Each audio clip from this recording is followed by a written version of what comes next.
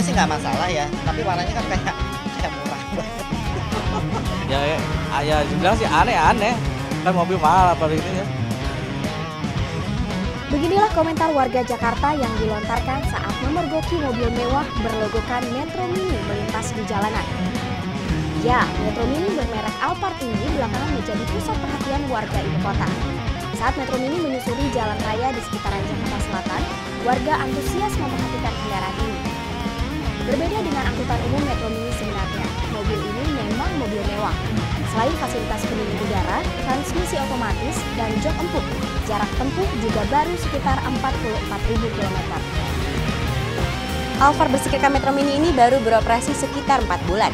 Menurut orang kepercayaan sang pemilik, mobil ini hanyalah sebagai koleksi dan yang penting tidak dioperasikan sebagai angkutan umum. Sang pemilik menolak untuk diungkap identitasnya. Dari informasi yang diperoleh di dunia maya, pemilik mobil asal Yogyakarta dan sering tinggal di Perth, Australia ini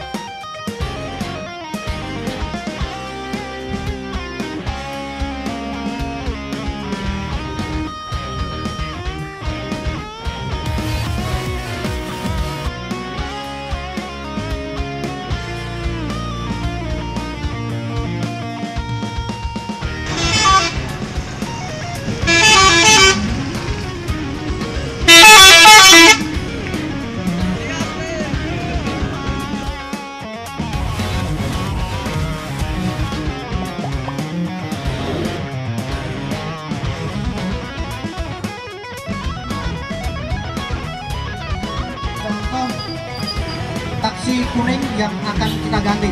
Nah, yaitu eh, dengan APV di APV nah, diharapkan dengan adanya penggantian APV ini eh, penumpang yang sekarang dari rekan-rekan supir itu menurun